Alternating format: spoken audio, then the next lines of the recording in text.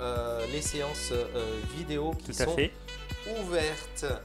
Alors, on reçoit un invité sur Oui. Radio Capitole et on C'est moi voilà. l'invité Non, c'est pas Non, toi. c'est pas moi l'invité. C'est pas moi non plus. hein. C'est pas toi non plus. Non. Non. L'invité, s'il te plaît Ouais, c'est Mais qui es-tu? On reçoit Dimitri dans les studios de Radio Capitole. Dimitri qui va nous expliquer un petit peu son histoire et surtout son combat pour tenter de retrouver euh, sa famille d'accueil. Ouais, Il avait euh, euh, médiatiquement euh, tenté d'interpeller euh, les Palois pour euh, retrouver euh, cette famille d'accueil. Et puis une bonne nouvelle est arrivée euh, me- euh, mercredi, Mercredi, ouais. mercredi dernier. Très bonne nouvelle. Euh, une nouvelle qui a- qui t'a permis donc euh, d'aller à la rencontre après 15 ans. 15 ans. Euh, Faut- Ça va faire 15 ans cet été, ouais. et, euh, et du coup, bah, tu vas nous expliquer un petit peu ton, ton parcours, ton Oui. chemin de vie, Ouais. et puis euh, euh, les, les- les personnes pourront euh, interagir euh, en direct avec nous sur, euh, sur Radio Capitole. Tout à fait. Euh, où c'est qu'on peut le retrouver On peut nous retrouver sur les réseaux sociaux, bien sûr, sur Facebook, Twitter, YouTube, Instagram, Snap aussi, euh, sur, euh, en tapant Radio Capitole. Et vous pouvez aussi nous retrouver sur nos applications qui sont gratuites, disponibles gratuitement sur le Google Play et l'Apple Store. Si vous voulez participer à nos émissions, faire les bêtes avec nous, le jeudi en tout cas, c'est capichou.radiocapitole.fr. Sinon, pour nos directs comme aujourd'hui, samedi, vous pouvez nous envoyer un email à témoin sans ou nous téléphoner au 0800 69 08 32. Bientôt, je vais te laisser travailler tout seul. J'ai même plus besoin d'être là. J'ai même plus besoin d'être là. On reste ensemble pour euh, cette interview euh, ensemble. exclusive jusqu'à 15h, 15h30. Et puis après, Ouais. mon ami Théo, on te retrouvera bien sûr avec le mix. Et euh, jusqu'à l'heure que tu souhaites. Si tu veux rester là jusqu'à minuit, bah, vas-y, reste là jusqu'à minuit.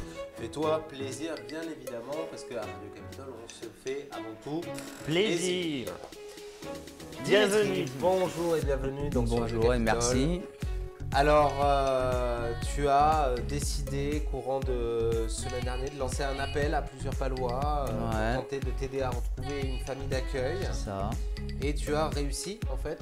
Oui, oui, j'ai réussi, oui. Ce- ce- ce- cette demande. Beaucoup Ouais. de monde ont répondu à cet appel. Bah, beaucoup de personnes ont essayé de m'aider, euh, enfin, m'ont posé plusieurs questions euh, pour avoir plus de renseignements, etc. Mais euh, beaucoup de personnes ont essayé de m'aider en tout cas dans cette recherche. Mhm. Alors, tu, es, euh, tu viens de Lettonie. Je suis né en, je suis né en Lettonie, oui. Ouais.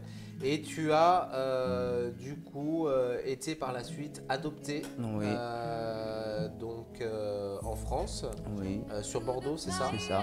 Et tu as également bénéficié de voyages, c'est ça si compris, deux de ans avant mon adoption, oui, je suis avec l'orphelinat de Lettonie. on a, enfin, l'orphelinat organisé avec, des, associ- avec des associations avec la France. Euh, on a- enfin, ils organisaient euh, avec certains enfants orphelins de venir en France pendant les vacances d'été, dans des familles d'accueil. Alors, euh, c'est là où tu as fait la connaissance de, de cette famille d'accueil? C'est ça. Comment s'appelait Martine et Stéphane. Désolé Stéphane, si t'écoutes. Donc, eux sont euh, non loin de Pau, c'est ça? Oui. Euh, Où exactement? Euh, alors ils étaient à. Oh, oh, j'ai un trou là. Euh, C'était dans les environs de toute façon du Ouais, Béarn. voilà c'est ça. Ouais, Ça fait- ça longtemps. Tu es resté combien de temps dans cette famille deux mois. Deux mois pendant les vacances d'été, ouais. D'accord. Qu'est-ce que tu as fait pendant ces deux mois? Tu as des souvenirs? J'ai quel quelques souvenirs. Alors j'avais 6 ans, donc c'était en 2004. J'avais 6 ans, donc euh, ouais, euh, j'avais quelques souvenirs avec la famille, effectivement. Et euh, ouais, donc. euh, Donc tu disais en, hors antenne tout à l'heure, quand, quand on a appris ton histoire un petit peu plus, tu disais Ouais. que eux t'ont appris vraiment euh, ce que c'était d'être attentif aux, aux enfants, d'être. C'est euh, ça, bah, ils m'ont permis de, de- Comment dire ça Mais ils m'ont permis de voir ce que c'est une vraie famille, quoi. Alors, euh, quand tu dis voir ce que c'est une vraie famille, Enfin, c'est-à-dire une- que tu as appris à, à être posé quelque part. C'est ça, voilà, avoir, ouais. un- Et à avoir une avoir vraie un- affection. euh, Que tu n'avais pas Voilà, c'est ça, voilà, ouais. D'accord. Euh, dans quelles circonstances t'es passé euh, la- la- le, fait que tu sois à l'orphelinat en Lettonie? Est-ce que ça a été pour quel motif? Alors, que- euh, par, enfin, je suis né bah, en Lettonie, donc, euh, et euh, ma, ma mère euh, biologique, euh, enfin, n'avait pas les moyens, elle ne pouvait pas s'occuper de moi. Donc ça, a été décidé par je, ne sais pas qui, des trucs haut placés en Lettonie. Et, c'est eux qui ont décidé de me placer à l'orphelinat. Comme une sorte de service social Ouais, c'est un peu ça, ouais, voilà, ouais. Donc ils ont décidé de me placer à l'orphelinat, donc c'est comme ça que bah, j'ai vécu de ma naissance à mes 8 ans à l'orphelinat. Quoi. Mhm. Et après, euh, donc, tu vas être adopté par euh, ta mère euh, adoptive. Ça. Euh, alors on va essayer, on va essayer de suivre parce qu'entre mère adoptive, mère, biologique, famille d'accueil, il y a, y a, pas mal de trucs. Il y a beaucoup, il y a beaucoup de, personnes, de personnes famille, qui sont ouais. dans ton entourage en, quelque sorte. Et lorsque tu vas être adopté euh, par cette maman euh, adoptive, tu vas atterrir du coup à Bordeaux. C'est ça. comment va se dérouler ta vie un petit peu avec cette maman adoptive? Est-ce que tu vas savoir déjà dès, le, dès ton arrivée en France, est-ce que tu vas comprendre que tu as été un ah, ça, Oui, ça j'ai tout de suite compris. Bah oui, parce que hum, avant que je, avant que je sois adopté, on m'a pris à part euh, dans, la, dans, notre chambre et euh, l'éducatrice de l'orphelinat m'a demandé si je voulais aller vivre en France. Euh, bah, j'ai répondu oui. voilà, et par, la suite, bah, j'ai rencontré ma mère adoptive qui est venue à l'orphelinat. c'est comme ça qu'on a, a, fait connaissance, etc. Donc voilà. Euh, tu as été bien traité euh, avec ta maman euh, oui, adoptive Oui, oui. bon, il y, a eu des hauts et des bas à l'adolescence, hein, comme tout le monde. Enfin, comme tout le monde, je dirais pas tout le monde, mais la plupart, ouais. Mais ouais, bah, voilà quand même. Il y a une question que je me pose lettonie, c'est une autre langue. Hein. Euh, il y a une autre langue. Est-ce que tu as. Euh, à combien tu estimes de temps où tu as pu parler la langue française? Tu, connaissais déjà la langue française quand tu es arrivé ici? hmm, euh, Très très peu. Enfin, franchement, je ne savais pas parler courant. Enfin, je ne pouvais pas parler avec des Français en tout cas. D'accord. Comment tu t'exprimais alors du coup? Par les gestes, par les, euh, euh, Non, d'après mes, d'après mes souvenirs, enfin avec ma mère euh, adoptive, on s'exprimait par des dessins en fait. Des dessins. Des, des dessins. D'accord. Et ça a été compliqué pendant un temps de te faire à, la, au fait que tu puisses être dans l'orphelinat, arriver dans une maison, avoir un repère, une personne repère? Euh, ah non, moi je me suis fait, je me suis fait très vite. Hein. Euh, ouais, ça s'est fait très vite. Ouais. D'accord. Et l'école? Bah, bah L'école, euh, enfin, moi je suis arrivé en France en juin, je crois, il me semble. Et juin 2006. À l'âge 8 ans. 8 ans, ouais, 8 ans, ouais. juin. Et bah, dès septembre d'après, bah, je rentre en classe, comme tout le monde. Euh, ouais, je suis rentré dans, enfin j'étais dans une école euh, normale, mais qui avait aussi, qui, enfin qui avait une classe qui justement où ils euh, apprenaient à des étrangers bah, la langue française. Mhm. Donc bah, au début en fait je me rappelle qu'au début d'année j'étais pas. Donc c'est juste, enfin je me rappelle en fait. Tu as pris en cours d'année, c'est ça? Un cours d'année, je sais plus, ça devait être octobre. je crois que j'ai rejoint cette classe en octobre, un truc comme ça. Je sais plus exactement, mais Euh, je me rappelle en tout cas que j'étais en classe et il y avait la personne de la classe euh, qu'on appelle ça une classe clean. Mhm. Euh, elle, est, venue chercher les, deux enfants de ma classe justement qui, qui, étaient étrangers. ça faisait, bah, c'était la même la, première année où ils étaient en France comme moi. Et elle m'a entendu parler parce que quand elle est venue chercher les enfants, j'ai parlé à la maîtresse. Hein. Et euh, elle m'a entendu parler, et là elle, a dit ouais bah, je vais prendre aussi Dimitri euh, avec moi. D'accord, ok. Il y avait d'autres euh, enfants qui étaient, comment on dit, lettons, lettoniens Lettons. Lettons Il y avait d'autres enfants Non, non, non, il n'y en avait pas. Et cette barrière de la langue, comment elle a pu te permettre d'avancer puisque si tu étais tout seul, il y a eu quoi Un traducteur Non, non, c'était des. ça marchait aussi par Non, non, pas du tout. Non, c'est euh, bah, disons que euh, cette prof en fait euh, de Clastine, je sais pas, elle était, enfin, elle était passionnée par ça, donc elle, enfin, je sais pas comment expliquer, mais elle, elle expliquait par ses mots pour qu'on comprenne quoi. Je n'utilisais pas des mots complexe. Elle savait se rapidement faire comprendre. assimilé- Ouais. T'as très rapidement Bah en un an, en un euh, an, au bout de- enfin à la fin de l'année, je, je savais parler comme je parle maintenant. D'accord. Euh, tes années au collège, par exemple, tu as ce souvenir? Euh, oui, oui, bah surtout en cinquième. Hein, euh, Parce l'adolescence, adoption, Bah en sixième ça a été, bon je- ça, ça commençait à chauffer euh, fin sixième, bon encore euh, c'était, ça a été mais c'était limite. Mais c'est surtout en cinquième où je me suis fait entraîner par euh, deux, deux mecs euh, de ma classe euh, Mhm. dans leurs conneries. et moi je les ai suivis hein, comme un, comme Oui. un taré et, euh, et ouais, euh, et ouais après bah, bah l'année d'après bah tous les trois on a été séparés. Donc, ce, qui n'est, ce qui est une bonne chose plutôt parce que t'a permis d'avancer un peu plus. ouais enfin euh, je sais pas parce que euh, donc ça c'était en cinquième hein, les histoires avec lui avec ces deux trucs enfin deux mecs mais en quatrième euh, à la fin j'ai même pas fini l'année- que à la fin quatrième j'étais déjà déscolarisé D'accord. donc voilà Lorsqu'on rentre dans, une, euh, dans l'adolescence, on a euh, ce qu'on appelle la recherche identitaire. Est-ce que ça a été le cas pour toi? Euh, non moi c'était plus une crise d'adolescence Oui, mais la crise d'adolescence est due souvent à la recherche identitaire. Donc, est-ce qu'il y avait une envie de, de, de- repartir, par exemple, en Lettonie pour Euh, retrouver ta non non je pensais je pensais pas à ça moi Non. non non c'était Quel euh, questionnement tu avais? Euh... Oula, est-ce que j'avais des questionnements? Peut-être, mais là, non, je pense pas. Ouais. Ouais. Donc ouais, euh, je sais pas. Là, si enfin, est-ce que j'avais des questionnements ou pas? Ça, je, je pourrais pas répondre parce que je, je me souviens pas. Euh, ta crise d'adolescence s'est passée, euh, parce que- parce que maintenant tu es âgé de 21 ans, je vais avoir 21 ans. Tu vas avoir 21 ans, donc euh, tu vois aussi des jeunes, hein, des, Oui. des jeunes adolescents. Est-ce que tu t'identifies au même type qu'eux? C'est-à-dire que c'est le même genre de crise d'adolescence ou elle a été encore plus vive que d'autres adolescents? Euh, non, c'était beaucoup plus calme parce que là, je, pendant 5 ans, j'étais, euh, j'étais dans un institut thérapeutique, euh, donc j'étais suivi par des, des éducateurs, des médecins, psychologues, etc. Et euh, je voyais, il y avait des, enfin, des plus jeunes que moi, donc il y en avait qui étaient, en- enfin, ça commençait à partir de 11 ans, ça allait jusqu'à 18 voire 20 ans. Et je voyais, eux, ils étaient encore plus agressifs. hein. Ils pétaient les murs, ils pétaient les vitres, etc. là-bas. hein. Et moi, je. Limite, Donc, en fait, limite, j'étais plus là à, à- À à les aider. Non, pas les, pas les regarder, à, à les observer et voir ce qui n'allait pas chez eux, en fait. D'accord.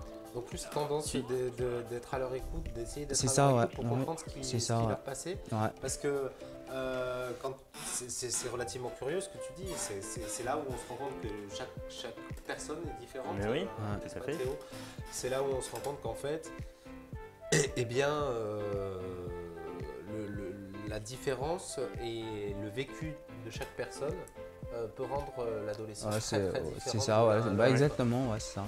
C'est- Chaque vie est différente, donc qui, qui, dit, enfin, qui, dit, diffé- qui dit vie différente dit comportement différent. Aussi, donc, ouais. euh, ouais, voilà, quoi. Ça dépend de l'expérience de chacun. C'est ça, voilà. Euh, Dimitri, euh, il y a euh, bien évidemment donc ta maman adoptive. Est-ce qu'il y a eu un papa adoptif Non. dans ta vie Non, non, pas du tout, non. Non, donc elle a adopté seule ta Ouais. maman, c'est ça Elle m'a adopté seule, ouais. D'accord. Est-ce que, alors, bon, nous on connaît la réponse puisqu'on en a discuté avant Ouais. l'émission, mais avant de détailler vraiment là-dessus, est-ce que lorsque tu, pars, tu étais en Lettonie, Ouais. tu étais donc avec une sœur, une demi-sœur, c'est Oui, ça une demi-sœur, ouais. Euh, lorsque tu as été adopté, est-ce que ta maman euh, adoptive était au courant Non, elle n'était pas au courant que j'avais une de demi Non, j'étais pas au courant de ma... que j'avais une demi-sœur. euh, c'est justement quand elle était venue en Lettonie me voir. C'est une amie qui, euh, enfin une amie de leur, enfin de- une amie à ma demi-sœur euh, qui était à l'orphelinat aussi. bah, D'ailleurs, qui était dans mon école à l'époque, mais qui a deux ans de plus que moi. Mhm. Qui elle parlait français parce qu'elle venait régulièrement en France pendant les vacances euh, d'été. hein, et euh, c'est elle qui a dit ouais, que j'avais une sœur, enfin une demi-sœur. donc elle le savait pas encore. Mhm. Sur Radio Capitole, on a Elodie, on a euh, Pelote, Rose, Jean, Delphine, euh, Jean-Louis, pardon. Oui, n'hésitez pas, si vous avez des Euh, questions, vous François pouvez les aussi poser. qui nous rejoint, enfin Régis qui nous rejoint, Marie, Rosa et Véronique que puisque c'est la tata, euh, c'est la tata qui est connectée. C'est la tata. Sur, sur Radio Capitole. Je euh, t'embrasse bien évidemment. Vous pouvez réagir à la, à l'histoire, le vécu Oui. de, de- Dimitri. Ouais, Géo posait des questions. euh, Je Et répondrai voilà, si vous je peux. hein, si j'ai euh, des, si j'ai des réponses, je répondrai avec plaisir.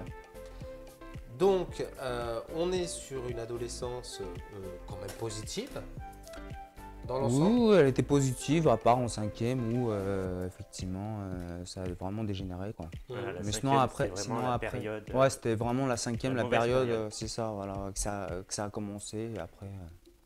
Comment, la, comment justement cette période elle a été gérée par ta maman adoptive?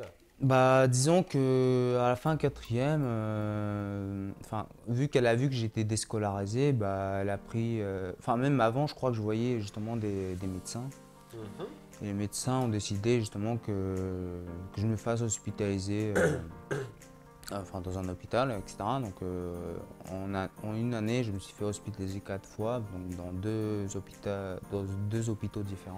Mais alors hospitalisé pourquoi? Hospitalisé Euh, par, rapport à- au, au fait qu'au niveau psychologique ça n'allait ça, pas ou voilà, par euh, rapport par, au rap- fait- par rapport enfin, à la violence que j'avais envers ma mère D'accord. euh, une- adoptive. Enfin, vieux- oui, j'étais assez violent. Tu étais euh, assez violent. Quel type de violence? Euh, bah, Violence physique, verbale? Ça, pou- ça pouvait, bah, c'était un peu les deux. euh, c'est surtout verbal, mais ça pouvait parfois être physique.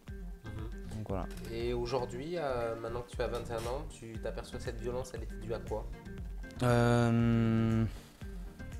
Elle était due à quoi? Bah, bah, disons que je pense qu'elle était due justement à ces deux mecs qui m'ont entraîné dans, la, dans, la- dans les conneries. Donc euh, on a fait des, vraiment des très grosses conneries. Donc euh, je pense qu'en plus c'était deux, deux, deux mecs, euh, ils n'étaient pas de France. Enfin ils, étaient, ils avaient des origines un peu... il y en avait un qui était... euh, il y en avait un qui était, je sais même plus que, algérien, je crois, ou Mhm. un truc comme ça, et l'autre, il était arabe ou je sais pas quoi. Donc, et euh, ouais, avec eux, on a été dans les conneries vraiment euh, très loin, quoi. Donc, euh, je pense- très loin, donne-nous un exemple. Oula, Un petit exemple. un petit exemple. Ah, mais bien sûr, Euh, ne refaites pas la même non, chose. Ah ouais, bien sûr, je vous oui. Il conseille n'y a pas. que les Euh, professionnels qui peuvent faire ça. Non, Évidemment. Non, non, non, ouais, je le Voilà, dis, il faut je dis un exemple, je dis un exemple, mais surtout je vous conseille pas de le faire parce que sinon euh, ça, va- ça va vous entraîner très loin. hein. Donc un exemple, euh, bon, je- j'en ai fait plusieurs, mais j'en vais en dire qu'un seul. Euh, en cinquième justement, euh, j'avais pas de téléphone alors que tous mes camarades de classe en avaient. C'était la loose. Ouais, c'était Ouais, la loose. Moi, j'étais dégoûté, etc. Donc, euh, moi, ce que j'ai fait, euh, bah, je me suis posé. euh, Enfin, je me rappelle tout le monde dans la cour a posé leur sac pendant leur récré et tout. Enfin, pendant l'heure midi, l'heure de midi, même pendant la récré. Enfin, moi, c'était surtout pendant l'heure de midi que euh, je voyais ça. Donc, euh, tout le monde posait les sacs et tout. Et moi, je me posais à côté des sacs. Donc, je me- je m'allongeais. Et euh, je fouillais dans les sacs pour trouver un téléphone. Donc, euh, j'en ai vu un et je l'ai récupéré. Enfin, bref. euh, Voilà quoi. Bon, je l'ai fait deux fois d'ailleurs, mais euh, voilà quoi. Et donc, ça t'a valu des problèmes? Euh, alors le premier Parce que le té- téléphone alors, manquait, forcément. alors le premier téléphone, ça m'a pas posé de problème. Enfin, ça n'a pas posé de problème parce qu'en fait, euh, enfin, non, même pas. Vous allez rigoler d'ailleurs, parce que le, donc je le vole. Enfin, je le vole. Ouais, on va dire que je le vole, hein, parce que c'est vraiment du vol. hein. Euh, voilà. Et à la fin de le- des cours, en fait, j'avais les deux devoirs dans un centre d'animation. Donc j'y vais, j'avais le téléphone à la main et euh, un animateur me voit et me dit T'as un téléphone maintenant? Euh, Je dis Bah non, j'ai trouvé par terre dans la rue là-bas. Et bah, bien sûr, ils, me disent Ah, attends, peut-être on va trouver un contact, enfin les parents, enfin voilà quoi. Ouais. Je me dis dans la tête, oh merde, qu'est-ce que j'ai foutu et tout. Et, mais en fait, au, au fil du temps, je me dis, ouais, bah, ils ont bien fait, quoi. Mm. Mais euh, ouais, donc euh, quand ils ont appelé la personne, euh, elle est venue euh, directement après, euh, et il m'a donné un billet de 10 quand même pour l'avoir retrouvé. hein. D'accord, ouais. Mais ça t'a pas permis d'acheter un portable. Non. Non, 10 euros, Non.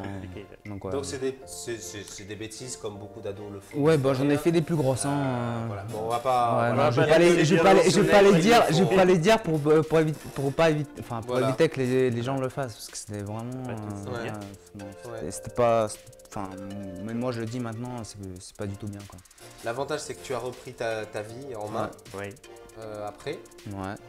Euh, Qu'est-ce qui s'est passé après? Euh, alors euh, donc la première année, bah, comme j'ai dit, je me suis fait hospitaliser. La deuxième année, j'étais bénévole dans, bah, dans le centre d'animation, donc euh, plus dans le centre de loisirs, donc je faisais l'aide de devoirs avec les enfants euh, de l'école primaire. Mhm. Euh, euh, bah, avec le centre de, bah, j'étais dans ce centre de loisirs quand j'étais petit aussi. Euh, donc ouais, je faisais, enfin, j'aidais justement les enfants à faire leurs devoirs. Et euh, donc ça, ça a duré euh, à peu près, je sais pas combien de temps ça a duré. Je crois que j'avais commencé novembre bah, jusqu'à la fin de l'année scolaire. Fin novembre jusqu'à la fin de l'année scolaire et ouais. Et l'année d'après, bah, j'ai repris les cours, donc j'ai fait une troisième prépa pro. On était quoi euh, En général, euh, de moyenne, toute l'année, on était trois dans la classe. Donc euh, voilà. Niveau au-dessus, hein, clairement, j'avais la première, premier trimestre 18 de moyenne, enfin bref, etc. donc ouais, c'était assez simple. Donc ils m'ont dit que j'avais le niveau du bac pro, enfin niveau pour rentrer en bac pro surtout. Et donc ouais, l'année d'après, j'ai fait un bac pro en menuiserie. C'était ta passion Euh, bah, c'était ma passion. En fait, euh, en troisième prépa pro, on faisait plusieurs stages. Donc, on avait cinq stages à faire en au total dans l'année. Et euh, j'avais fait des stages en menuiserie. Et je me suis dit, ouais, euh, ouais ça, ça, ça, ça me plaît. Et euh, donc, voilà. Et donc, ensuite, je. Parce qu'en en fait, à la fin de l'année, on devait faire un. un- on appelait ça un CFG, Certificat de formation générale. Certificat des formations. Voilà. Et euh, on devait faire un grand rapport de stage qu'on devait rendre à la fin de l'année. Mhm. Et, euh, on et c'est comme si c'était nos vœux, euh, nos pour la- l'année d'après en fait. quoi D'accord. on s'orientait. Et donc ouais, effectivement, j'avais choisi la menuiserie, etc. Donc l'année d'après bac pro, donc seconde bac pro en menuiserie, et j'ai même pas fini l'année- parce que je me suis rendu compte que ça me plaisait pas, donc euh, voilà. Et depuis, bah, euh, j'avais fait, euh, bah, j'avais recommencé un peu de bénévolat, etc. Et- Mais entre temps, enfin, j'ai commencé en tout cas en troisième prépa pro à passer le BAFA que j'ai eu euh, en février 2017. Le BAFA, c'est pour euh, être animateur. Ah, Ouais. ah, Travailler avec les enfants. C'est Ah, ça, c'est ça. j'ai Ça, J'ai l'impression que c'est ce qui te, te donne plaît. le plus envie. C'est ce qui C'est te ce, plaît vraiment c'est ce le qui plus. me, c'est ce qui me plaisait en tout cas euh, À l'époque. ouais, travailler auprès des enfants. Ouais. Donc euh, même il n'y a pas longtemps, euh, j'avais postulé, bah, c'était euh, c'était bah, en bah, septembre, j'avais fait, enfin je m'étais inscrit par Pôle emploi, euh, par euh, mission locale euh, à une, comment on appelle ça déjà? À une garantie jeune. D'accord. Euh, oui, ce sont les nouveaux contrats euh, jeunes aidés. Ouais, c'est ça enfin Ouais. c'est c'est un en fait c'est sur un an en fait, euh, ils nous aident à trouver euh, un emploi, une formation, ou un stage. Voilà et, et oui effectivement donc moi j'ai commencé mi-août, enfin je sais plus exactement et en septembre j'avais postulé dans trois centres d'animation, enfin centres de loisirs plutôt et et, et ouais j'étais aux trois entretiens mais finalement j'ai pas été pris. Ça n'a pas donné. non, il n'y a ça- pas eu de- il y a pas eu de suite. Enfin il y a eu une suite mais c'était négatif quoi. Mhm. Donc voilà.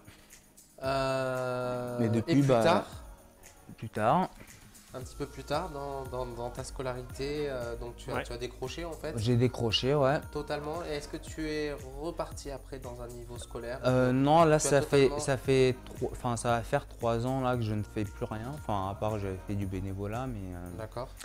Et, euh, et la garantie jeune, mais euh, là c'est bien justement, déjà le bénévolat. hein, Oh, acquérir oui, de, l'expérience Ça permet, et tout. ça permet de garder la sociabilisation. c'est ça, aussi. voilà, exactement. ouais. Et, euh, et là justement j'ai envie de raccrocher là à la rentrée, euh, faire un bac pro en gestion et administration. D'accord. Donc voilà, on verra. Enfin, le problème, c'est que je l'avais- j'avais déjà contacté des, des lycées pro. Ils m'ont dit, vu, vu que tu es, majeur ouais, et que, t'as sorti, fait, et ça fait, et que ça fait trois ans que. Ouais, enfin, ça va faire trois ans que, j'étais plus en cours. Euh, ils m'ont dit de contacter, euh, enfin, je sais plus qui, enfin, D'autres organismes. c'était, enfin, c'était pas des organismes, c'était un, un truc, euh, qu'on appelle ça déjà, le- les trucs euh, pour les cours là, enfin, pour les bacs pro là, enfin, je sais plus appelle Donc ça. euh, le CFA. Non, c'est, non, le- c'est pas, non, le Greta. non, non, je- euh, ah le nom là, euh, ah j'ai oublié. Bon, c'est pas grave. Donc, Voilà, du coup, oui. donc ils m'ont dit de le dit. contacter, mais je les ai toujours pas fait, et, euh, donc ouais, euh, voilà. Parce que moi, ouais, faut que je le fasse de toute façon, parce que sinon, si je le fais pas, qu'est-ce que qu'est-ce que je vais faire de ma vie, quoi. Mm. Donc voilà. Ta maman plus tard va apprendre par le biais d'une amie, je crois, que tu as une demi-sœur? Donc ça c'était euh, en 2006. hein. Ouais, en 2006. Oui. Donc je reviens sur la, la, L'année la partie de 2006, ton ouais. adoption Ouais. et de, de- de- de ta vie euh, en tant qu'enfant adopté. Ouais. Euh, Qu'est-ce qui va se passer? Quelle va être la réaction de ta maman adoptive? Et, et toi, est-ce que tu as pu. tu, tu en avais parlé? Est-ce qu'il y a eu quelque chose qui a été évoqué? Parce que c'est difficile de- pour toi d'être séparé d'une demi-sœur avec qui tu étais en Lettonie. Et... Bah, disons que même, en, même à l'orphelinat, euh, la directrice de l'orphelinat, nous disait, enfin, je sais pas si c'est le mot exact, mais nous interdisait euh, de se voir euh, parce qu'on n'était pas dans la même section. Euh, Donc ta, ta demi-sœur et toi, il ouais. y avait une interdiction en fait de Enfin, garder non, mais en fait, euh, c'est, j'étais pas le seul euh, frère et sœur euh, dans l'orphelinat. hein. Il y en avait d'autres. hein. ouais. Il me semble, hein, d'après mes souvenirs, mais euh, la directrice, elle était un peu dure parce qu'elle elle nous empêchait de se voir en fait. Mhm. Donc on se parlait pas souvent, etc. Ouais, donc, voilà. Donc voilà. Et, Est-ce que tu as le souvenir de pauvreté dans... Est-ce qu'il y a de la pauvreté dans, dans- dans- en Lettonie?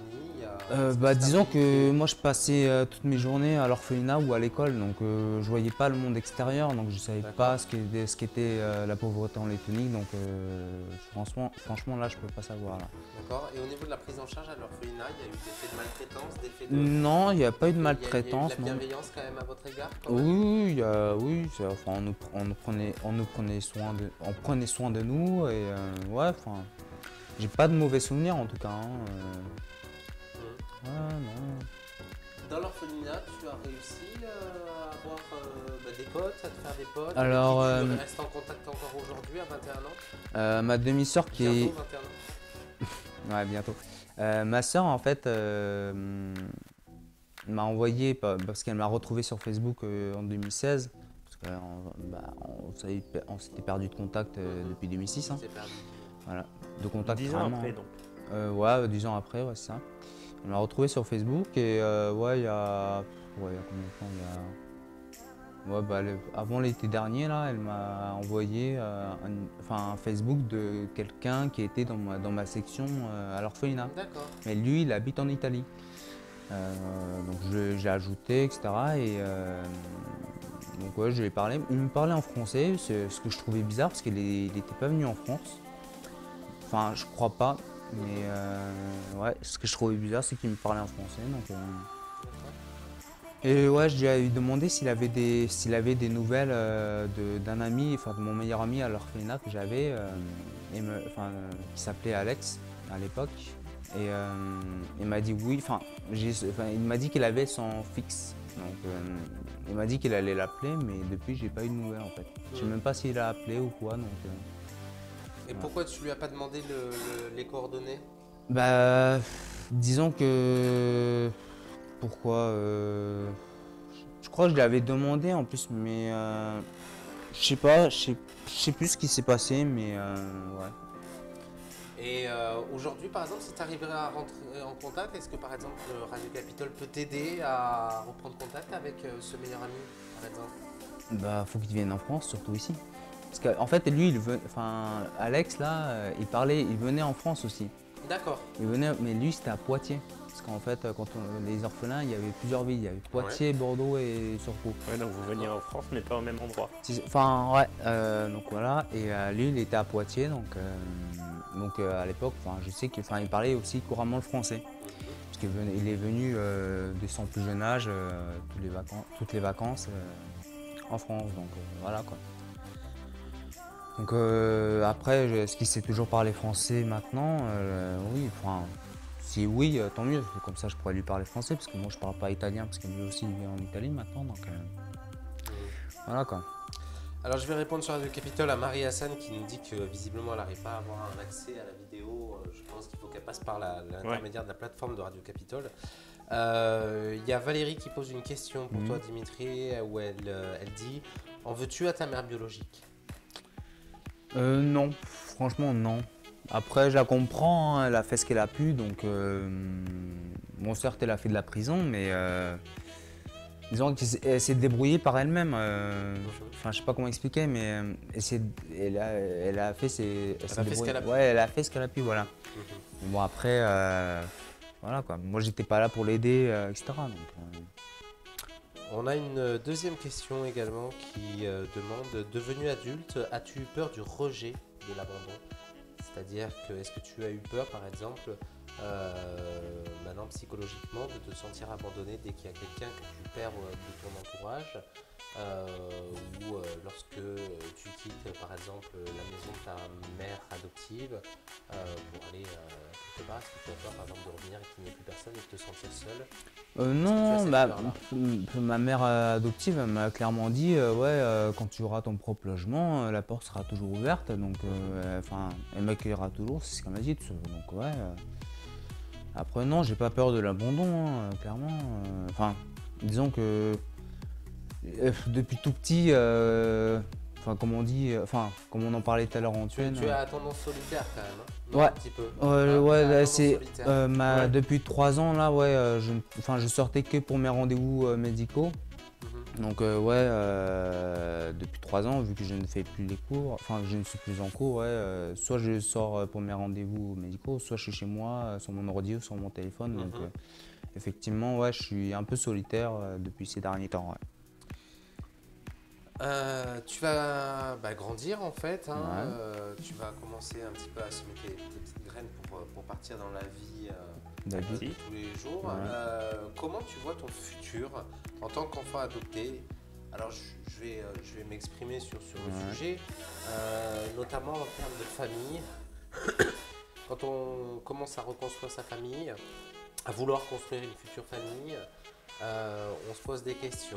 Est-ce que si j'ai une nouvelle compagne, je vais lui dire que je suis un enfant adopté et je vais lui parler de mon histoire? Est-ce que plus tard, quand j'aurai des enfants, je leur expliquerai Ah ouais, non, mais moi j'assume total, moi j'assume totalement hein, ma vie, euh, ma vie, oui, je, je la raconte, euh, enfin, comme, comme une vie normale quoi. Enfin, Mhm. ouais, moi, enfin, moi je suis to- totalement transparent avec les autres, hein, donc oui, s'il faut raconter ma vie, je la raconterai. hein. Donc, on revient sur la bonne nouvelle quand même de la semaine Ouais. pour toi, c'est- le fait que tu aies retrouvé euh, ta famille d'accueil. Mhm. Euh, dans quelles conditions en fait vous n'aviez plus de nouvelles puisque tu es resté 15 ans dans, Ouais. dans- dans l'ignorance de savoir euh, euh, si- s'ils étaient encore là ou même si où, ils se trouvaient. Ouais. Dans, dans- dans quelles conditions vous vous êtes perdu Bah, Parce que tu euh, resté deux mois, deux mois, ça, ouais, chez eux. c'est ça. Et, en euh, deux mois, il n'y a pas eu d'échange d'adresse ou de. Bah en fait, euh, d'après ce que j'ai compris là, quand je les ai revus, ils m'ont, enfin ils m'ont expliqué qu'ils ont essayé de quand même de contacter l'orphelinat pour savoir si j'étais adoptable, etc. Donc, euh, mais euh, l'orphelinat, bien sûr, bah, la directrice, euh, elle a dit euh, ouais bah non, là actuellement elle est en hôpital psychiatrique. euh. Pour quelle raison? Ah, j'étais pas justement, j'étais pas à l'hôpital psychiatrique. Et je sais pas pourquoi elle a dit ça en fait. Moi je l'ai, moi, je l'ai appris euh, bah, mercredi en fait qu'elle a de, de ça en fait. Donc euh, ouais. En tout cas je sais que la famille d'accueil enfin, ne m'a pas oublié en tout cas. On a Elodie qui pose une question par rapport au fait qu'on était en train de dire juste avant que tu étais solitaire. Ouais. Euh, elle disait le fait d'être solitaire, est-ce que tu as, ça veut dire que tu aurais peur de quelque chose? Non, j'ai, à- pas peur, c'est juste que hum, je, j'ai plus l'habitude de sortir euh, dans la rue, euh, à, enfin, à, à voir du monde comme ça. euh, enfin, j'ai plus l'habitude de voir du monde en fait. Donc, certes, si quelqu'un dans la, enfin, si je me promène dans la rue, quelqu'un vient me, vient me parler, me demander de l'aide, etc. Je, l'aide avec plaisir. hein. Ça, ça, ça me dérange pas. Mais disons que j'ai plus de facilité quand quelqu'un vient vers moi que, enfin, que moi Que- quand je vais vers quelqu'un en fait. Hmm. Mais est-ce que tu aimes bien le fait, euh, le fait d'être solitaire, cette solitude? Est-ce que tu l'aimes? Euh, bah, quand j'ai rien à faire, ouais. Enfin, quand, quand, quand j'ai ouais, quand j'ai rien à faire, ouais, j'aime bien, mais euh, disons que dans la vie future, je pense que ce serait une mauvaise idée, quoi. Ouais, parce que si je travaille, enfin, je- Il va falloir que tu travailles en collectivité. c'est ça, voilà, ouais. Ouais, donc, Il va falloir euh, que. Ouais. Donc, ouais. euh, c'est, euh, pour l'instant, c'est une habitude que j'ai prise, mais je vais essayer quand même de la perdre, hein, parce que c'est pas très bon pour le moral, je dirais. Donc, euh, Après, tu n'es pas obligé de la perdre totalement. non, bah non, Tu bah peux non, je sais. euh, garder tes petits moments à toi. Oui, bah oui. Si tu veux réfléchir ou même te poser, euh, tu peux aussi. Mm. Vous aussi sur Radio Capitole, si vous avez une situation qui vous préoccupe, un sujet tabou ou bien encore une situation que vous voulez discuter avec nous euh, dans les studios de Radio Capitole, que faut-il faire mon ami Théo Il faut nous envoyer. rejoindre Bien sûr, il faut nous envoyer un email à témoin sans le S radiocapitole.fr. Vous pouvez aussi nous contacter au 0811 69 08 32. C'est Julien qui vous accueille sur le répondeur. C'est quelle touche qu'il faut appuyer pour nous contacter, pour euh, appeler le studio? Le 2. Le 2. Vous pouvez appuyer sur, Appuyez le, 2 2. également. Et vous nous retrouvez également le jeudi soir de 18h30 à 22h30 avec le Capichot, suivi Ouais. du mix de Théo. Ouais. Et vous pouvez directement parler avec nous et 0811 euh, 69 08 32. J'ai eu un trou. Ouais. 0800, c'est- bon. Hein. aussi à 0811 Capichot. 69 08 32 pour euh, euh, venir interagir avec nous. Euh, Aussi sur au le Capichot, hein. Capichot. arobase radiocapitole.fr si vous voulez euh, nous envoyer un email, votre numéro de téléphone ainsi que le sujet de votre appel. On a Stéphane, Flavien, Malicia, Théo, euh, bah Théo, Tiens, euh, moi. Patrick, Steph, euh, Gilou aussi qui est là. Salut Gilou. Euh, Salut, salut. Et Rose qui nous a rejoint sur le direct live. Salut à tous, euh, merci séance de nous avoir vidéo de, de, de, de- de Radio euh, Capitole. Ouais. Euh, Aujourd'hui, euh, je reviens donc sur Dimitri. Aujourd'hui, qu'est-ce que euh, tu vas faire Le fait que tu aies retrouvé ta famille d'accueil, tu vas garder contact avec eux, tu vas venir plus souvent chez eux? Bah, Ils t'ont hébergé, il me semble. oui, ils m'ont euh, hébergé pendant deux nuits. Qu'est-ce qui s'est passé pendant bah- ces deux jours? Où ils, ils ont été Bah, toi? Qu'est-ce que hum, tu as fait? Qu'est-ce qui a été leur mot? Bah en fait déjà quand, enfin, quand ils ont appris que, que, je, que je les ai trouvés, enfin que je les cherchais en fait, euh, ils s'y attendaient pas. Donc euh, dès qu'ils m'ont vu, euh, euh, ils m'ont tout de suite reconnu hein, par rapport à mes yeux en plus. À l'époque j'avais pas de lunettes, hein, bon j'avais pas de barbe hein, forcément. Mais en tout cas on m'a reconnu à mes yeux.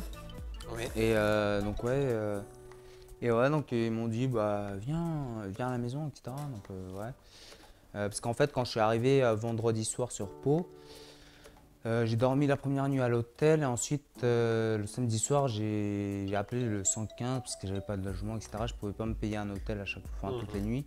Donc euh, j'ai dormi dans un foyer pour sans-abri et donc c'était pendant quatre nuits. Et euh, donc ouais, et la quatrième nuit c'était de mardi à mercredi. Et c'est mercredi que je les ai rencontrés. Donc pour- pour, pour, justement pour que pour- ils voulaient que je passe du temps avec eux, donc c'est pour ça qu'ils m'ont accueilli chez eux pendant, Mhm. pendant leur nuit. Donc euh, le soir j'ai mangé avec eux, donc j'ai vu euh, leur- euh, leurs enfants, enfin pas, pas les quatre, hein, mais euh, les trois que j'ai connus en tout cas à l'époque. D'accord. Quelle a été leur réaction quand tu es revenu dans la famille pour les trois enfants Alors, euh, en. Ouais, fait, euh, enfin, euh, bon, quand je suis revenu, en fait, enfin, quand je suis arrivé à la maison, euh, il y avait qu'une, enfin, il y avait une fille qui habitait encore, euh, qui a 27 ans, mais qui habite encore, euh, je crois que Toujours chez la 27 ans, je sais plus. Ouais, voilà, bah, c'est sa fille, donc euh, voilà. Mais euh, oui, et sais pas si elle m'a dit qu'elle m'a reconnu, mais en tout cas, je lui ai montré une photo euh, de moi bah, en 2005, et là, elle m'a dit oui, c'est lui, quoi. Et euh, après, dans la, dans la, dans, l'après-midi, fin d'après-midi, il y a, Sylvain, donc euh, un autre enfant, un autre, un autre de ses enfants qui est venu, qui, donc, qui est arrivé. donc quand il est arrivé, il m'a pas reconnu. hein, donc, Martine qui dit euh, Tu le reconnais? Non, non. Dimitri, ça te dit rien? Non. Dimitri, ça te dit rien? Non, non, non, toujours pas. Et Dima, ah oui, Dima. Parce qu'en fait, à l'époque, euh, quand j'étais en Lettonie, euh, on, on me donnait le surnom de Dima. Et euh, quand j'étais à à l'orphelinat d'accueil, on m'appelait Dima, justement. Dima. Dima, ouais. Donc voilà, c'est comme ça que. Enfin, dans la famille d'accueil, on m'appelait tous Dima, en fait. Mhm. Donc voilà. Donc du coup, il a fini par te reconnaître. Ouais. Qu'est-ce que vous avez fait le lendemain puisque tu as passé deux nuits là-bas? Vous Ouais. vous êtes allé Euh, vous promener, alors vous êtes le- rappelé des endroits où vous êtes allé Euh, le lendemain, euh, qu'est-ce qu'on a fait déjà? Parce que ouais, le lendemain en fait, euh, euh, Martine qui est, on l'a accompagnée à son lieu de travail Mhm. et, euh, et avec euh, Steph, on est, on a, Je sais plus ce qu'on a fait après, je crois, je sais plus si on est rentré ou. Enfin, en tout cas, on a revu la maison parce qu'ils avaient déménagé- plusieurs fois depuis 2004. Mais on est repassé devant la maison où on était en 2004. Et, Ouais. voilà, donc, Et là, ouais. les souvenirs ont explosé, sont revenus Oh non, mais je m'en souvenais encore hein, à quoi ça ressemblait. hein, donc, euh, mais effectivement, il y avait des. Oui, mais ont t'avais fait- l'impression de revenir en. En arrière, En euh, arrière oui, oui, bah oui. euh, bah après, disons que ça a un peu changé parce qu'ils ils ont installé, enfin, ils ont construit une autre maison à côté, etc. Donc ça a un peu changé. Mais sinon, la maison elle reste comme elle était. hein, euh, donc euh, voilà. Et euh, donc ouais. Qu'est-ce qui s'est passé après? Je sais même plus ce qui s'est passé. L'émotion, Ah, l'émotion ça, fait perdre les souvenirs. Et ouais, donc euh, ouais, mais c'était, plutôt sympa, ouais, Hmm. de tous les retrouver. Lorsque euh, tu as euh, envisagé cet appel à témoins par l'intermédiaire de nos confrères de la République des Pyrénées et de l'Éclair, tu avais l'espoir de les retrouver grâce à cet appel à témoins ou tu t'es dit, bon, c'est une bouteille d'eau lancée à la mer, Bah disons que jamais je trouverai et je- si je, je, moi, je- je pourrais pas me le reprocher. Ou comme Non, le dit, si euh, je, je leur faisais confiance, enfin je leur faisais confiance, je me disais dans ma tête oui je vais les retrouver mais je pensais pas que ça allait se faire aussi vite quoi. Hmm. Je pensais que ça allait mettre une semaine, un mois, je sais pas mais Ah, avec le bouche à oreille. ouais, ça bah voilà vite, c'est ça ouais. Oui, puisqu'on a, il y a des groupes également qui sont Exactement. euh, sur Facebook. Ouais. euh, Ouais. Et euh, c'est ce qui, c'est ce qui, c'est ce qui, moi, m'a interpellé. Et donc après, c'est c'est Théo qui m'a, Ouais. qui m'a contacté en disant aidons cette, cette personne. Oui, parce que tu Et, as laissé euh, un message sur, sur le Facebook. Ouais. Est-ce que c'est de ce message que tout est parti? Ou tu avais déjà commencé à Non, faire je, des trucs je avant? dirais que c'est parti surtout du journal en fait. Avant les messages Facebook, tu as. Euh, non, non, c'est non. euh, moi, j'ai le message Facebook, je l'ai mis euh, samedi euh, en fin d'après, enfin milieu fin d'après-midi. Et, euh, et c'est justement euh, ce jour-là, le soir, que le mec, enfin le journaliste m'a contacté euh, pour. euh, bah, Donc en fait, il a vu le message sur Facebook et à ça, voilà. il t'a- il t'a contacté. Ouais. Ouais. Donc, ouais. Euh, donc tu avais, tu avais très peu d'espoir que ça, ça vienne très rapidement. Ouais. Tu gardais l'espoir, mais tu ne pensais pas que ça allait voilà, arriver ça, rapidement. Mhm. Euh, si aujourd'hui tu avais quelque chose à dire à, d'autres personnes qui seraient en recherche euh, de leur famille d'accueil ou même de leur mère biologique ou, euh, ou du, reste, du reste de leur famille, qu'est-ce que tu pourrais leur donner comme conseil? Ah bah lâchez rien, clairement lâchez rien. euh, là, enfin j'avais fait une pause euh, parce que j'avais déjà recherché, j'ai essayé déjà de les rechercher avant, mais euh, j'avais fait une pause parce que je me suis dit, euh, moi, je vais me calmer un peu, parce que là, voilà. Et, c'est vendredi que j'ai eu l'idée justement de venir à Pau pour euh, justement faire des recherches un peu plus approfondies. Donc euh, Mhm. après, si euh, je sais pas si vous, si vous, comme moi, vous êtes fait adopter, si vous recherchez vos parents biologiques, etc. euh, si vous n'avez pas les moyens de partir les- dans votre pays, je sais pas, faites un autre moyen, je sais pas. Je sais pas, je, est pas d'idée, mais Dimitri, euh, lorsqu'on recherche sa famille, euh, sa famille euh, biologique, par exemple ses parents biologiques, il est nécessaire pour toi, selon toi, d'aller dans le pays, euh, si on a la Non, possibilité, euh, si on, si a, la possibilité, il est nécessaire bah, d'aller dans le pays. euh, c'est- disons, c'est pas nécessaire, mais disons que c'est plus facile, je dirais, pour moi de, Ça de aide. les retrouver. Ouais, ça aide, Ouais. voilà. ouais. Parce qu'en France, il faut savoir que juridiquement, euh, la priorité en France, c'est la recherche de filiation. Ça veut dire qu'on on ne coupe pas la filiation, euh, hor- hormis lorsqu'il y a des adoptions plénières où il y a des, des, des- des enfants publics de l'État. Mais vraiment, la France est un des pays les plus, euh, les plus stricts en matière de filiation euh, d'enfants pour garder vraiment la trace de la mère, le père.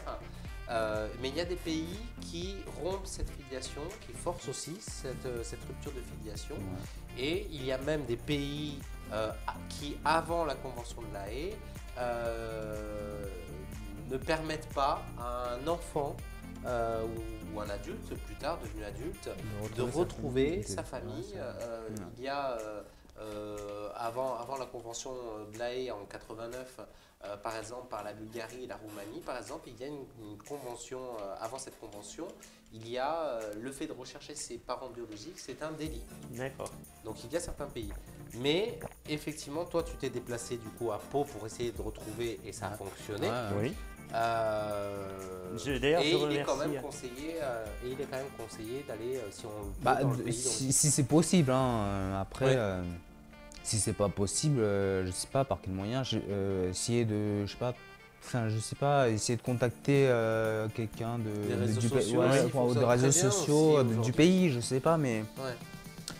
voilà, je sais, franchement, je sais pas comment, enfin, Ouais, c'est des idées que je donne, hein, mais euh, franchement, essayez, hein, euh, qui ne tente rien n'a rien. Donc, euh, Les réseaux sociaux, d'ailleurs, tu disais, et je remercie d'ailleurs une personne qui s'appelle Aurel, ouais, qui euh, m'a prévenu de, Mm. de ton histoire. ça, Une ouais. personne que je connaissais déjà d'ailleurs. Et euh, je la remercie de m'avoir contacté, puisqu'elle nous a permis, en tout cas, elle m'a permis de te contacter à Ouais. toi pour euh, pouvoir euh, euh, te recevoir ici et t'aider. Ah, bah, c'est gentil, merci. Euh, comment tu m'as dit que. Aurel, d'ailleurs, elle, Aurel qui ouais, est elle connecté nous sur Radio ouais. Capital, voilà, c'est bien ce qui me. Qui est connecté sur Radio Capitole. D'ailleurs, je passe un bonjour à Nathan qui m'a dit bonjour. Bah, bonjour Aurel. Hein, euh, Ouais. Donc en fait, euh, maintenant que tu as retrouvé cette, euh, cette famille d'accueil, ouais. Euh, il va y avoir prochainement une rencontre qui va se faire entre la famille d'accueil, ta maman, Euh, alors euh, ça, euh, en- enfin, adoptive, quelque chose comme ça. il ma, mère adoptive, euh, enfin j'avais téléphoné euh, bah, hier, je crois, elle m'a dit euh, oui, enfin, faudrait quand même essayer de, de revenir les voir, mais euh, euh, avant les vacances d'été, quoi. Donc euh, c'est pour ça faut j'ai le numéro de la famille d'accueil, donc euh, je les appellerai pour organiser en avance, parce que là je suis arrivé comme ça, mais c'était, enfin, c'était pas prévu. hein. Et donc ouais, euh, mais c'est prévu, ouais, effectivement. Mhm. Mhm. Euh, il y a Martine qui est euh, connectée. Donc Martine, ta la famille d'accueil biologique. euh, Ah, la famille Martine, d'accueil, oui. pardon, qui est connectée. Ouais. Moi, ce que je vais faire, c'est que je vais euh, juste te laisser expliquer un peu le, le- le, euh, bah, ce, que, tu- ce que tu comptes faire par la suite, ce que tu prévois par la suite. Oui. Et je vais essayer de. De l'avoir avec nous? De, de, de l'avoir avec nous. Oui. Voilà. Euh, si elle accepte euh, d'in- d'in- d'in- d'intervenir euh, Euh, par contre là je crois qu'elle est au travail, donc euh, sur. euh, da, da, da. alors, elle dit qu'elle essaie d'avoir un, un- visuel.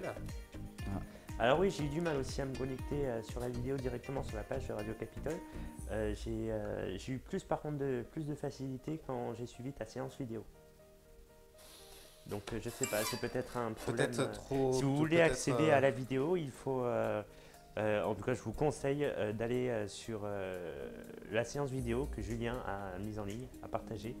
Comme ça, ça devient, c'est plus facile d'accéder à la vidéo et vous pouvez d'ailleurs, euh, par le biais euh, de cette publication, commenter, laisser euh, vos messages et réagir à tout ce qui se dit euh, dans l'émission. Exactement. Tout à fait, oui. Et Vous pouvez aussi, euh, je le rappelle, hein, vous pouvez aussi euh, réagir euh, si vous voulez passer euh, dans l'émission à témoins sans le s radiocapitole.fr au 0811 69 08 32. Alors Ouais. Dimitri, ouais. Oui, non, mais vas-y, vas-y, vas-y, je te Dimitri. laisse faire, pardon. Il a pris ton rôle là. oui. que comptes-tu faire euh, que Qu'est-ce qu'il y a? Que penses-tu faire euh, non, mais je pense que je vais m'en aller parce que tu as pris mon dans, le, dans le futur Qu'est-ce que qu'est-ce que tu comptes faire à l'avenir? Euh, bah, déjà rester en contact avec eux, hein, clairement. euh, je- c'est clair que je vais, je vais rester en contact avec eux. euh, je ne vais pas, je vais pas, euh, je- vais pas m'absenter pendant encore 15 ans, euh, comme, comme, comme ça s'est passé. hein.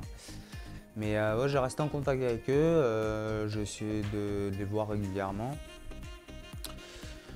Euh, je- donc ouais, euh, Est-ce que tu as un moyen déjà de les contacter euh, à distance pendant ces deux oui, jours que téléphone, tu as- ouais. Facebook, euh, oui, oui, j'ai tout. Enfin, j'ai tout. Ouais, t'as de quoi les contacter. Oui, j'ai de quoi les contacter. Ok, donc on va se mettre euh, en relation directement avec Martine sur Radio Capitole. Euh, Martine qui va accepter de témoigner euh, en direct. Euh, on l'appelle de suite. C'est parti.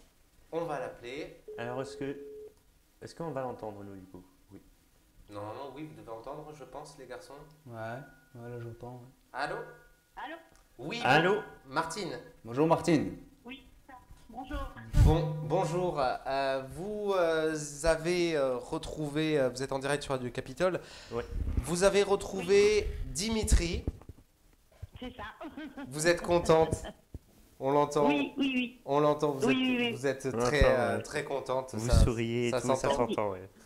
Alors, oui. Je suis au travail, je peux parler, ne vous inquiétez pas. euh, d'accord. Alors, quelle, euh, quelle a été votre réaction quand vous l'avez euh, bien. hein. quand vous l'avez retrouvé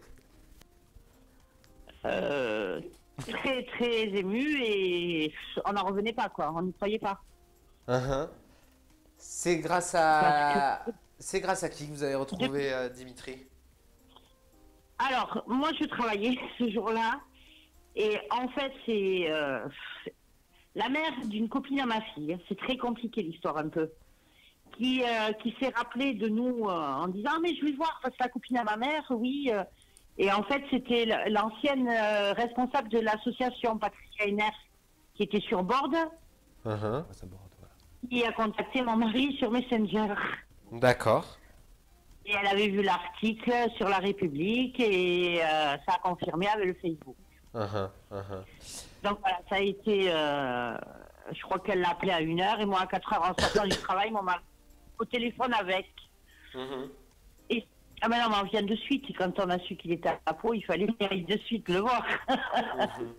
En 15 ans de, de séparation, en quelque sorte, euh, ça vous a paru long, ce temps? Vous avez, euh, Lorsque vous avez retrouvé Dimitri euh, dans, dans le courant de la semaine, vous, vous, vous avez tout, tout- toutes les, les deux mois auxquels vous l'avez accueilli ont défilé dans votre tête? Ah oui, oui, oui. Ouais, Puis nous, on est adultes, n'oublie pas ces gens-là. ouais. Un enfant, bon, ça, ça oublie, mais un adulte, on peut pas oublier. Quand euh, moi, j'étais déjà maman de quatre enfants, Ouais, j'en prends un cinquième, c'était pas pour. euh, je, je tiens à préciser que c'était bénévolement surtout. ouais. Et si on le prend, c'est parce qu'on veut lui apporter quelque chose et on veut lui donner quelque chose. C'est pas pour, euh, pour faire joli, quoi. Ce que je veux dire entre parenthèses. Mhm. Si on le prend, c'est parce qu'on pense lui apporter quelque chose, euh, de l'amour, de beaucoup de choses, quoi. Que je savais qu'il n'avait pas là-bas. Uh-huh. Euh, il a euh, exprimé juste avant, euh, avant de vous avoir, Oui. il a exprimé le fait que euh, vous lui aviez apporté une stabilité et quelque chose euh, de, de- de- une, une- une référence. Vous avez été un petit peu sa référence. Qu'est-ce que qu'est-ce que ça vous fait quand vous entendez ce genre de compliments euh, euh, sur, sur, sur la, la- la- la façon dont vous avez euh, accueilli ce, ce jeune enfant à l'époque? Ça fait plaisir. On Ouais. dit que euh, même si c'est que deux mois, et ben, on est resté gravé dans sa vie pour, euh, pour longtemps, quoi. J'espère encore. Mm. Mm. c'est surtout ça. Il Même a... mon fils m'a appelé hier soir et il m'a dit euh, Maman, chapeau ce que vous avez fait, quoi, quand même. Ouais, ouais. Il y a Stéphane Voilà. aussi qui est euh, dans la vie de Salut, Dimitri. Euh, Stéphane, Oui. Euh, qu'est-ce que qu'est-ce que vous vous êtes dit le soir où vous avez rencontré euh, Dimitri que, que Dimitri est allé se coucher puisque vous l'avez hébergé pendant deux jours pour pouvoir passer euh, Ouais. du bon temps avec lui? Qu'est-ce que vous vous êtes dit le soir Bah. quand on, on a réussi, on a on a fait grandir cet enfant, voilà ce qu'il est devenu? Qu'est-ce que qu'est-ce que vous êtes dit?